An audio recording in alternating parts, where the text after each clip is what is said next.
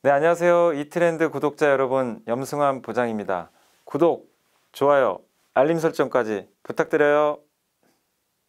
네, 안녕하세요. 염승환 부장입니다. 자, 오늘 2021년 오늘 날짜가 21일이 되겠네요. 월요일 날 제가 휴가 중인데 미리 찍어 놓고 갑니다. 그래서 제가 그 일단 재무제표 강의는 잠깐 하나 해드리고 그때 한번 해달라고 하시는 분이 계셔가지고 간단히 하고 업종별로 빠르게 한번 점검을 빨리 해드릴게요. 그래서 저도 지금 이제 이거 끝나고 바로 어디 강의를 가야 돼가지고 시간이 부족합니다.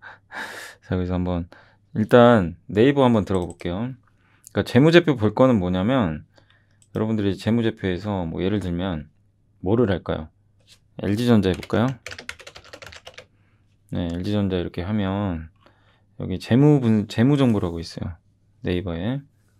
그래서 이렇게 뜨죠. 여기 종목 분석인데 보면 기업 현황 있죠. 그러니까 볼 게 뭐냐면 여기 처음에 종목 분석에서 기업 현황에서 LG전자 누구나 알죠. 근데 어느 섹터인지 전기전자 시가총액 꼭 보세요. 25조. 시총을 알고 있어야 됩니다. 음. 그리고 뭐 하는 회사인지 동사와 주요 종속 기업의 사업 부분은 뭐, 뭐 가전, 뭐 TV 이런 것들 하고 있고, 그죠? 이제는 스마트폰 철수했고, 그죠? 그다음 자동차 부품도 해요. 마그나 인수해가 이건 우리가 아는 거죠. 요 정도 알고 계시고, 그 다음에 여기 보면 이제 지난 4년치 데이터가 나와 있잖아요. 연간을 먼저 보세요. 연간. 매출액 55조, 61조, 61조, 62조 꾸준히 증가합니다. 63조 내년 이건 예상. 이 추이를 보는 거예요. 어, 계속 성장하네? 영업이익 1조 3천억, 2조 4천억. 스마트폰 그렇게 적자 보는데도 이익이 계속 늘어나요. 대단하죠. 가전제품이 너무 잘 나가니까. 이제 여기에 자동차, 그것까지 붙겠죠. 전기차 부품까지. 네. 단기 순이익도 증가. 그러니까 매출액은 전체 판매 P 곱하기 Q, 물량 곱하기 수량, 아, 물량 곱하기 단가. 그죠? 많이 팔고 비싸게 팔면 매출 올라가는 거죠. 그게 반대면 매출 감소. 그러니까 그걸 만드는데 들어간 여러 가지 원가들 제하면 영업이익 나오고 영업이익에서 판관비라고 인건비 뭐 아니면 광고비 임대료 이런 거 다 제한 돼. 그럼 단기 순이익 그 영업이익이 나오는 거죠. 거기서. 예. 그러니까 매출액에서 매출원가 빼고 그 매출원가 뺀 매출 총 이익이 있어요. 매출 총 이익에서 판관비 빼면 영업이익. 영업이익에서 장사하는 데 들어간 돈을 제외한 비용들이 있어요. 그걸 제하면 당기순이익이 나옵니다. 뭐 이자 이자 비용이라든가 이자 비용은 LG전자가 장사하는 데 들어간 비용하고 별로 상관이 없어요. 그런 구도입니다. 그래서 매출액 영업이익 당기순이익 이 당기순이익 가지고 이제 배당해 주는 거예요. 아시겠죠? 예.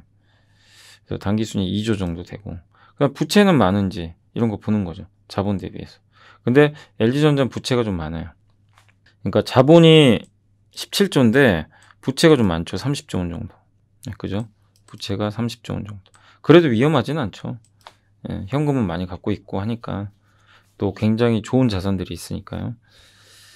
그래서 그렇지만 어쨌든 재무구조상으로는 부채가 많습니다. 예, 요건 좀 단점이 될 수가 있는 거죠. 음, 요런 것들 보시면 돼요. 그리고 PER 12배 나와 있죠. PBR 그다음에 주당 DPS가 주당 얼마나 주느냐. 그러니까 일단 요거는 제가 이제 속성으로 해드린 거예요. 나중에 시간 되면 좀 더 자세히 한번 해드릴게요. 근데 요게 이제 종목 분석 들어가서 보시면 예, 요, 요 정도만 여러분들이 체크해 놓으시면 돼요. 아셨죠? 예. DPS는 1년에 얼마나 배당 주는지. 그리고 요게 여기 보면 이제 분기도 나와 있어요. 분기. 분기면 매 분기 분기마다 예, 지난 1분기 실적 나와 있죠.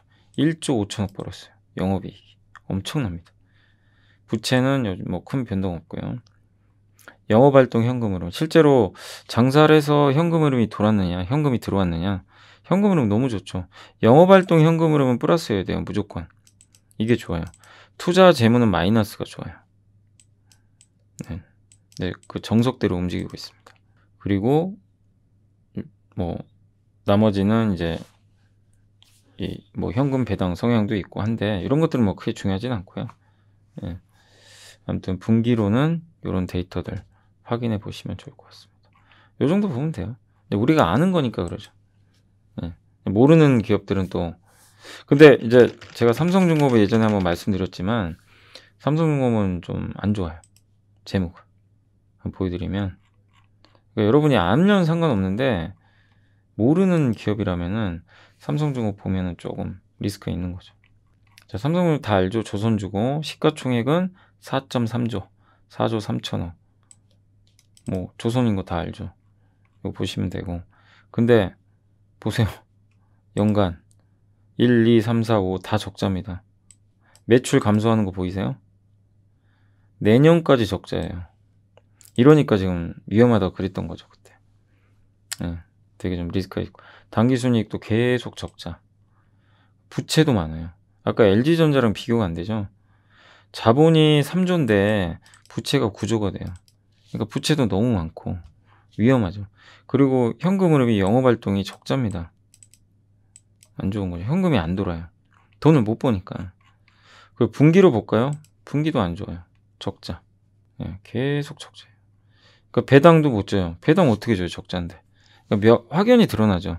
근데 이런 기업들을 여러분들이 혹시라도 이게 예를 든 거지만 이런 적자 기업들은 안 하시는 게 좋죠, 사실은. LG전자랑 너무 다르잖아요. 그죠? 그리고 이제 마지막에 전자공시 들어가서 내가 이 회사 잘 모르겠다. 그러면 여기 보면 정기공시가 있어요. 정기공시. 사업, 반기, 분기만 클릭을 하세요. 그렇게 해서 검색하면 돼요. 그래서 아 여기 여기 검색.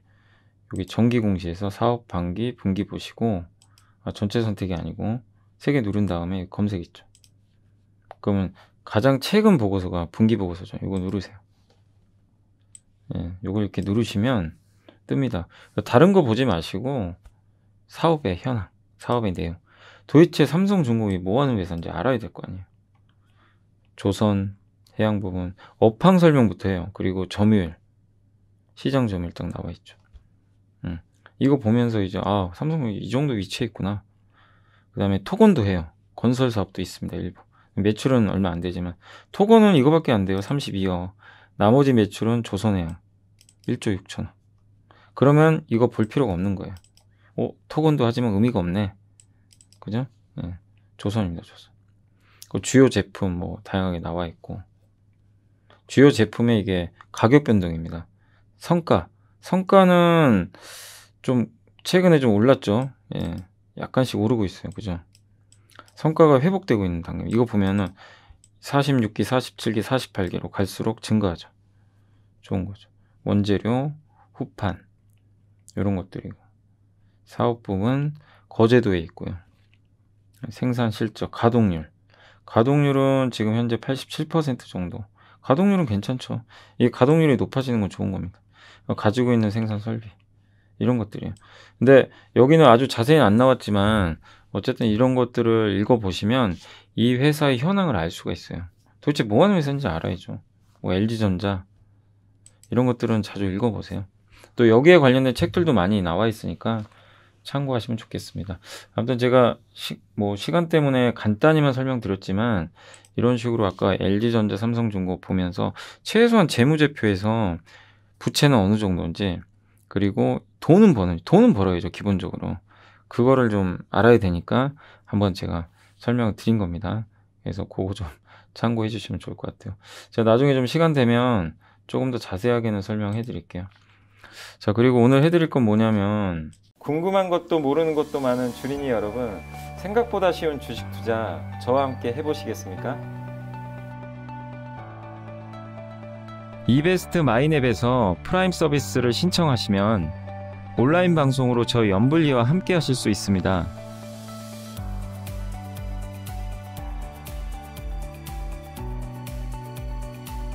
프라임 서비스를 신청하시려면 이베스트 마이앱 어플 설치 후 다이렉트 계좌 개설 메뉴에서 계좌 개설을 진행해 주세요. 다이렉트 지점 선택은 필수입니다. 이벤트 코드란에 메이크잇을 입력하시면 신청이 완료됩니다.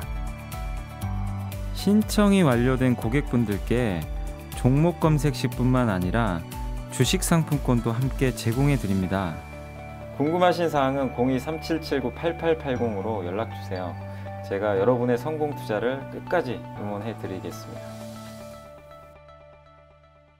업종별로 간단히만 그냥 말씀을 드릴게요. 네, 그냥 간단히만. 그래서 일단 뭐 인터넷 있죠, 인터넷. 인터넷은 뭐 카카오 네이버인데 당연히 뭐 보유하시면 돼요. 근데 카카오가 많이 올랐으니까 저는 개인적으로 이제 차후에는 네이버가 더 낫지 않나 이렇게 좀 말씀을 드리고 싶고 그 다음에 5G 버텨야 됩니다. 주도주는 아니에요. 근데 하반기에 하반기에 삼성전자 수주기대 아무튼 보유하자. 저 개인적으로는 RFHIC가 전력 반도체까지 하니까 좀 괜찮다고 생각합니다. 그래서 5G는 주도주는 아니지만 좀 인내해보자. 지금 팔 건 아니고요. 광고 쪽 역시 좋죠. 광고. 광고 여전히 좋아요. 하반기도 좋을 거예요. 일단 저는 뭐 나스미디어 항상 말씀드렸고 인크로스 좋고 그다음 제일기획 여전히 싸고 이노션 이런 기업들 나쁘지 않다 이렇게 말씀드리고 싶고 그 다음에 우주항공. 우주항공은 뭐 3인방이죠.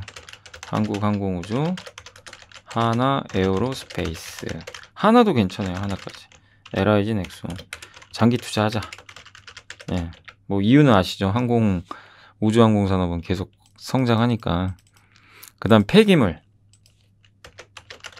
폐기물 아시죠? TY홀딩스가 대장이고 저는 건설 폐기물 쪽에서는 인선 ENT 이쪽 좋게 보고 코엔텍도 괜찮고요. 이런 기업들 다 좋아 보입니다. 그리고 원래 SK건설이 있는데 이건 비상장인데 뭐 SK밖에 없어요. 지주에서 예. 이런 식으로 좀 보시면 좋을 것 같고 KG ETS가 너무 많이 올라가서 어쩔 수 없네요. 그 웹툰은 뭐 당연히 DNC 미디어가 가장 우위에 있습니다. 사실은 DNC 미디어라는 회사가 웹툰 쪽에서는 가장 유명하죠. 예, 원래 카카오가 있지만 카카오야 뭐저 인터넷에 들어가 있으니까 그렇게 보시면 되겠고 웹툰도 K 콘텐츠 성장하잖아요. 음. 그리고 PCB, PCB나 MLCC 뭐 이런 수동 부품이라 그러죠. 여기는 뭐 당연히 삼성 전기, 사막 콘덴서, 기판, 삼성 전기, 대덕전자, LG노텍입니다. 기판, 심텍까지. 심텍에 이제 아비코 전자, 요건 DDR5까지. 이렇게 연결하시면 돼요. 요걸 제가 사라는 얘기는 아니에요. 사라는 게 아니라 한번 좀 점검을 해드리는 거예요. 이런 것들을 뭐 갖고 있거나 하시는 분들은 가져가시면 되는 거죠. 꾸준하게. 그 다음에 또 뭐가 있죠? 자동차에. 저는 역시 자동차를 제 개인적으로 제일 좋게 봅니다. 뭐 뻔하죠. 현대차, 기아, 현대모비스. 그리고 그때 한번 설명드렸죠. 티어 2 그룹, 한온 시스템, LG전자까지. 전, 전동화 부품 만드는 기업이 좋아요. 그쪽에 집중하시면 되겠습니다. 음, 그리고 뭐 스마트폰 부품도 어차피 하반기에 좋아져요. 그래서 뭐 파트론, MC넥스 이런 기업들이 자율주행까지 하잖아요. 자동차에 들어가는. 그죠? 다 연동이 돼 있습니다. 그래서 이런 기업들에 대해서도 여러분들이 관심 있게 보시고 그다음에 소재에선 PI 첨단 소재. 음, 제가 이제 그냥 기억 나는 것만 하는 거예요. 제가 여기 못 넣었다고 안 좋은 건 아니고 그냥 생각나는 대로 지금 언급을 드리고 있습니다. 그래서 그런 기업들 좀 염두에 두시면 되겠고 그 다음에 또 뭐가 있죠? 아 엔터주 엔터주야 뭐 하이브 하고 JYP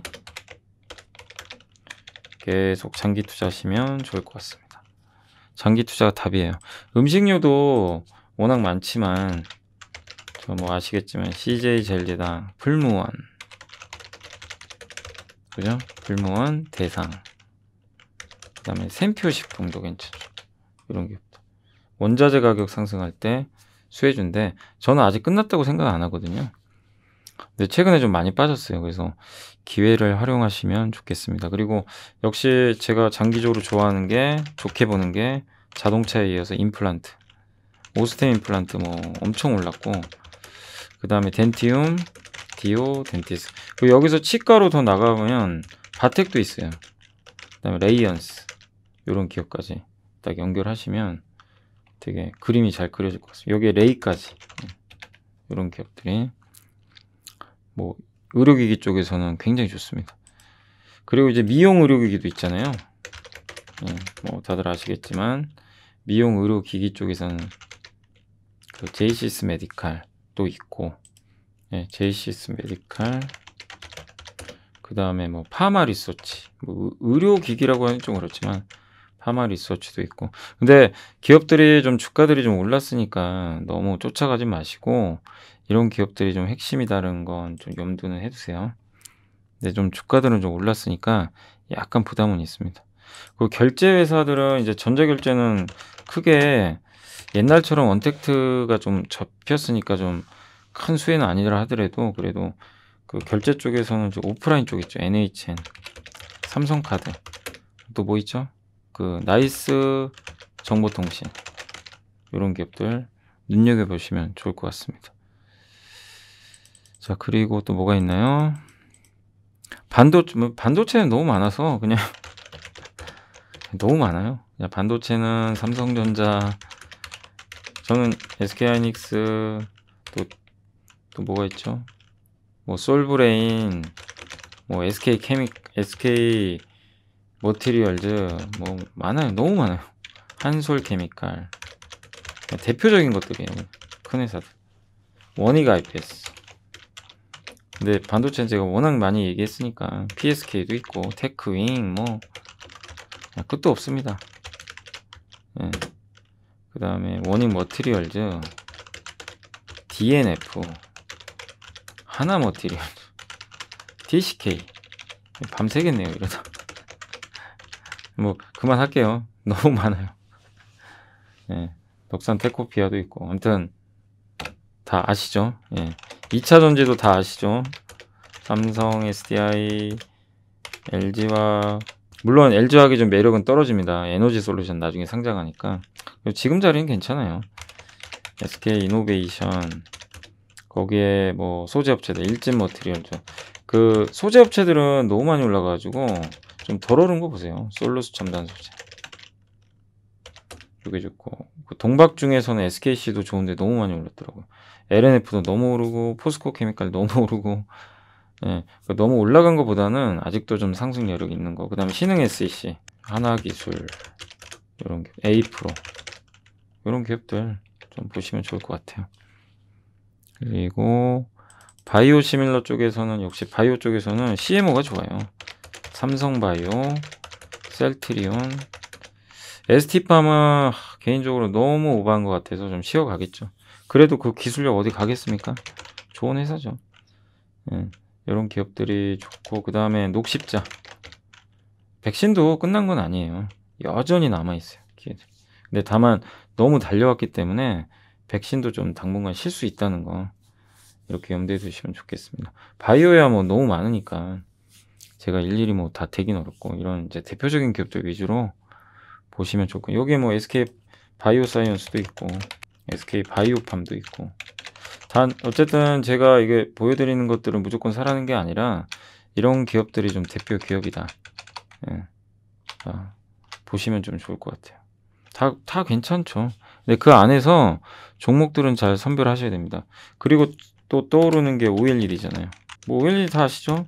덕산 네오룩스, 이녹스 첨단 소재, 이녹스 첨단 소재, PI 첨단 소재, 그 다음에 AP 시스템. 그냥 몇 개만 적을게요.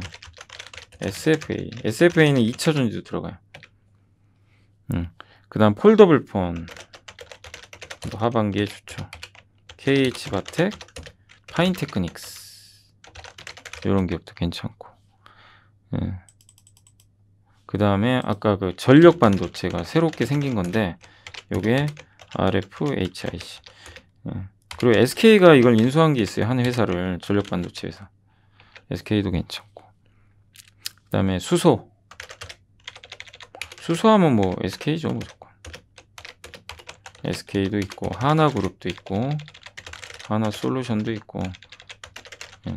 두산피오스 그죠 대표적인 게 효성 첨단 소재 이런 기업들이 뭐 일단 대표적으로 예, 떠오릅니다 이런 기업들이 좀 있는 것 같고 그 다음에 또 뭐가 있죠 예. 음. 스마트 팩토리 되게 많네요 포스코 ICT 롯데정보통신 삼성 SDS, 그 다음에 신세계 I&C.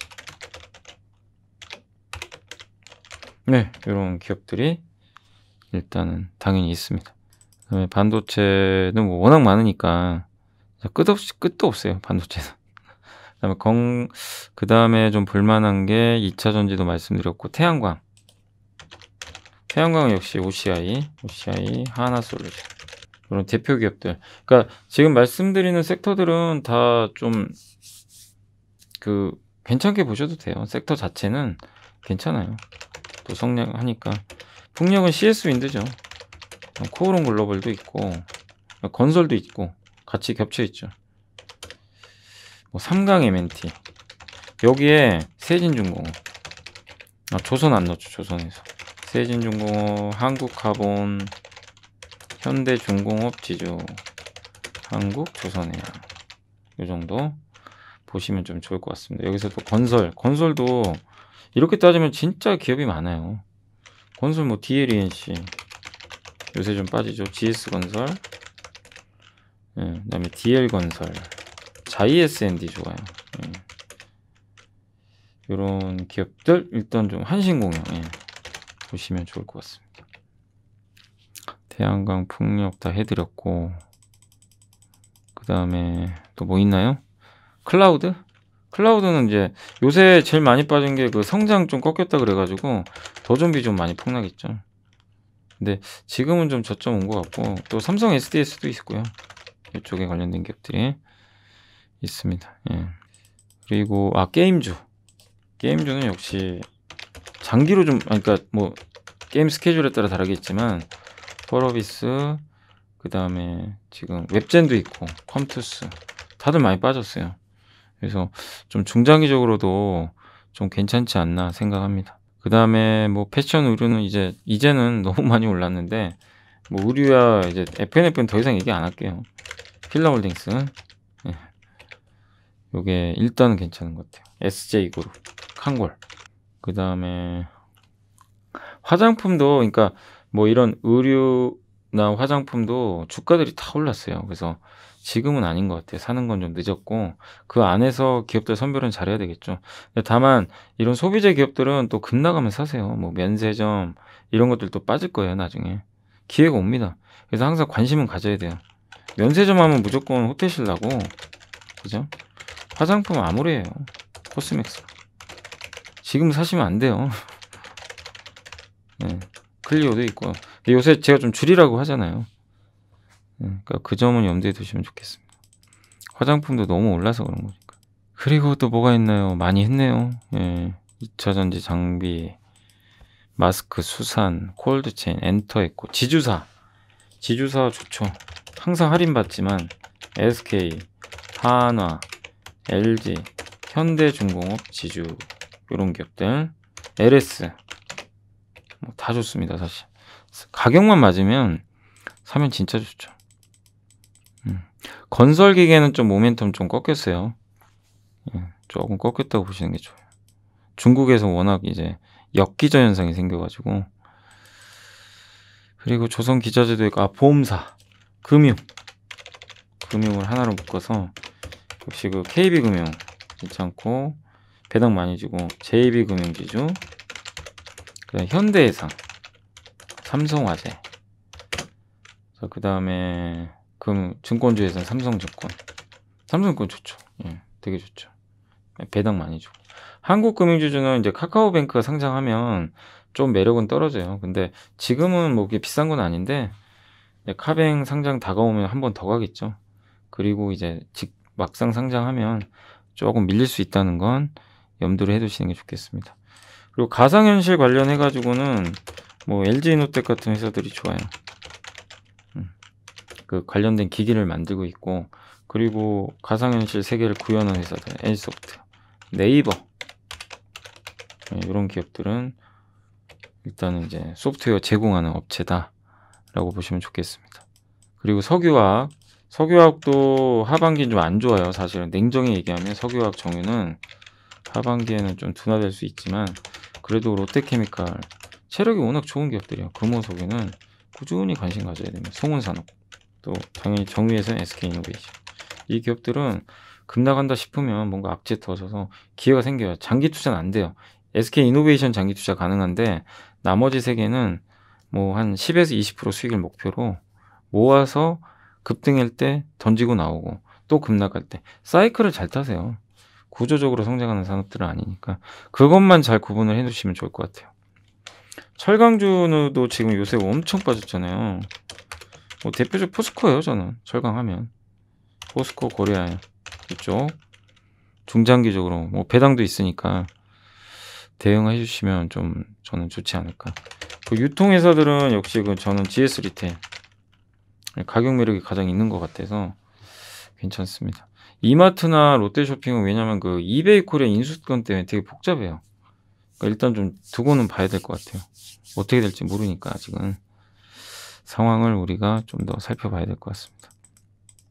그 다음에 건자재 있죠. 아, 건자재 빼고 먹겠네요. 건자재에서는 당연히 LG 하우시스, KCC 글라스. 그 이게 영어로 돼 있나요? 이름이 헷갈려서.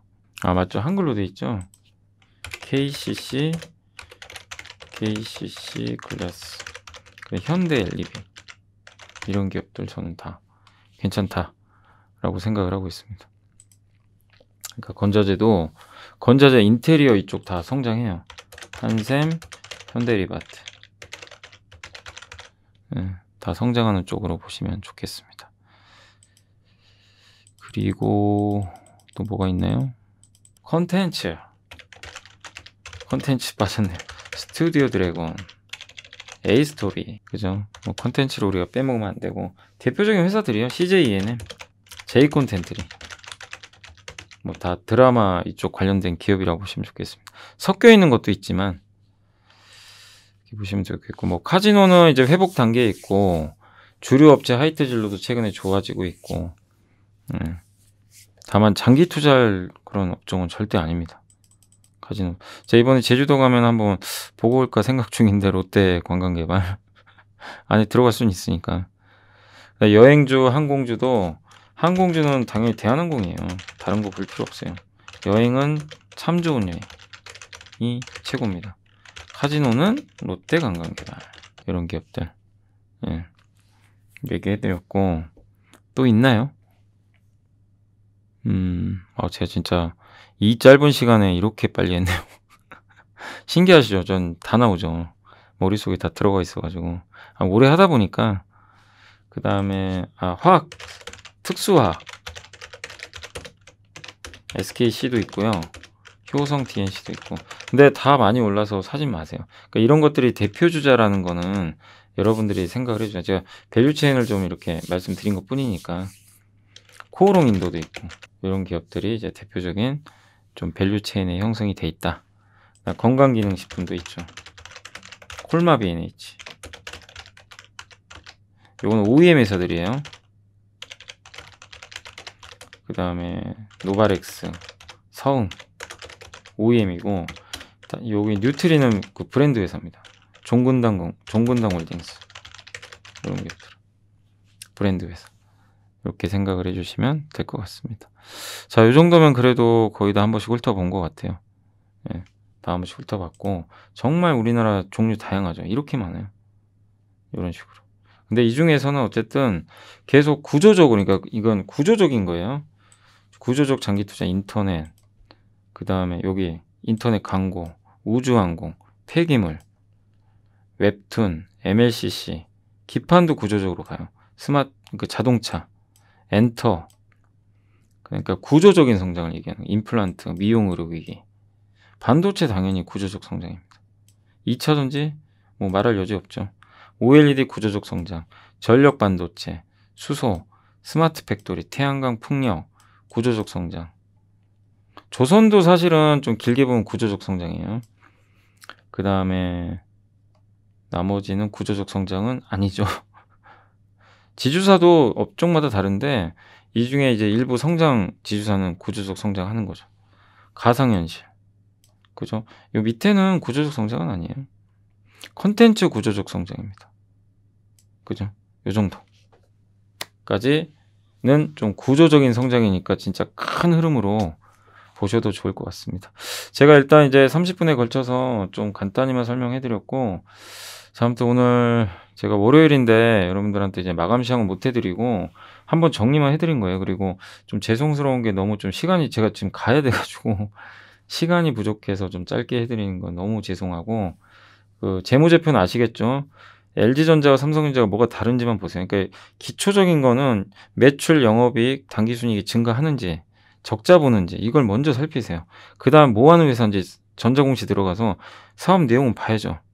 그래서 어, LG전자 가전 좋고 전장 부품 좋고 성장하네. 삼성중공 조선이네. 조선이 좋아질까? 친환경 배 많이 만든다는데 한국이 1등이랬는데 그럼 좋게 봐도 되죠 사업은. 그래서 재무제표 봤더니 안 좋아요. 그럼 한번 고민을 해봐야죠. 그 부채는 많은지. 요 정도까지 보시면 돼요. 영업활동 현금 흐름은 반드시 플러스인지. 배당은 주는지. 이 정도 보면 아 이 기업은 내가 투자 한번 해. 안전하다. 이건 아니다. 이걸 알 수는 있어요. 근데 그마저도 모르시고 하시는 분들이 너무 많으세요. 네, 아시죠? 그리고 여기 있는 거 사란 얘기 아닙니다. 엄청 오른 것도 많아요. 근데 제가 이제 이 정도는 알고 계시라는 거예요. 이 섹터에 이런 대표적인 기업들이 이렇게 있다는 건 알고 이제 나중에 보고서 나오고 소개해드리면 아 맞아 철강이 포스코지 맞아 카지노는 롯데관광이야 아시겠죠? 네. 자 아무튼 월요일 또 하루 잘 보내시고 이제 그 저는 내일 예, 화요일 날 마감 시황에서 찾아뵙겠습니다. 자, 아무튼 감사합니다.